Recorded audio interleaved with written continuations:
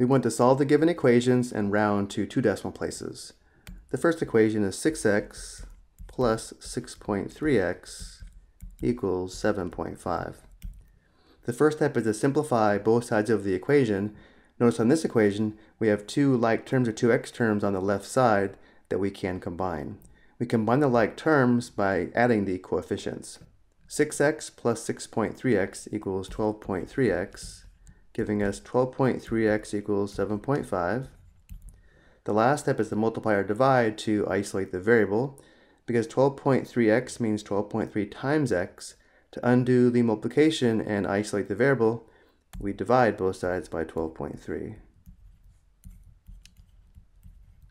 Simplifying, 12.3 divided by itself simplifies to 1. 1 times x is x. x equals 7.5 divided by 12.3. And now we need to find this quotient and round to two decimal places. So we have 7.5 divided by 12.3. The first step is to make the divisor a whole number by moving the decimal point to the right one place. And now we do the same to the dividend and move the decimal up into the quotient. Now we treat the quotient as 75 divided by 123. We begin by determining how many 123s are in 75, which is 0. And therefore we can now add a 0 to the right of the decimal point in the dividend here and determine how many 123s there are in 750, which is 6. 6 times 123 equals 738. And now we subtract. 750 minus 738 is 12. Because the 12 is less than the divisor, we know the 6 is correct. We add another 0 and bring it down. And now determine how many 123s are in 120, which is 0. 0 times 123 is 0. Subtract. The difference is 120, which again is still less than the divisor. We're asked to round to two decimal places, so we have to go out to three decimal places to round correctly. So we add one more zero and bring it down and determine how many 123s are in 1,200, which is 9. 9 times 123 equals 1,107. We subtract, and the difference is 93, which again is less than the divisor, and therefore the quotient is correct so far. But we can stop here because we're asked to round to two decimal places, and the 0 is in the second decimal place, the digit to the right, the 9, indicates we round up, and therefore x is approximately 0.61.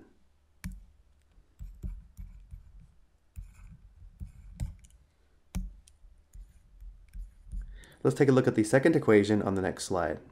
The second equation is 3.3x equals 2.1x minus 7.7.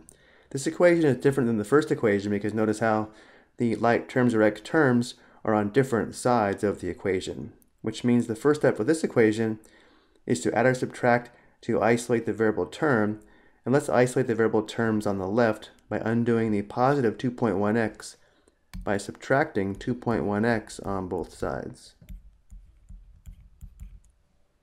Simplifying, 3.3x minus 2.1x is 1.2x equals on the right, this difference is 0, we now just have negative 7.7 on the right. And now I multiply or divide to isolate the variable. Because 1.2x means 1.2 times x, we now divide both sides by 1.2. Simplifying, this quotient is 1. 1 times x is x. x equals negative 7.7 divided by 1.2. And now we need to find this quotient and round to two decimal places. So we're going to have x is approximately, notice how the quotient is going to be negative, so for our division, let's just do 7.7 divided by 1.2.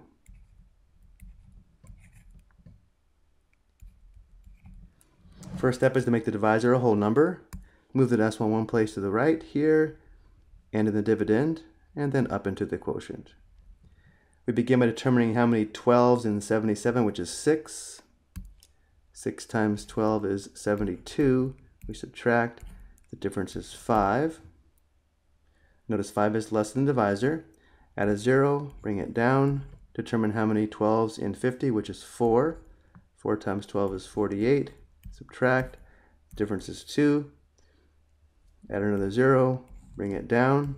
Determine how many 12s in 20, which is 1. 1 times 12 is 12.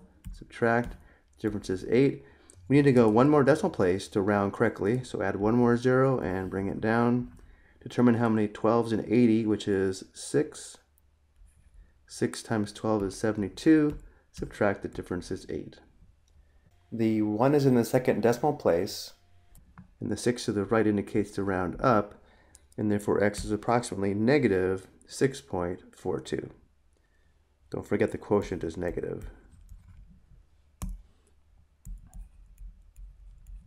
I hope you found this helpful.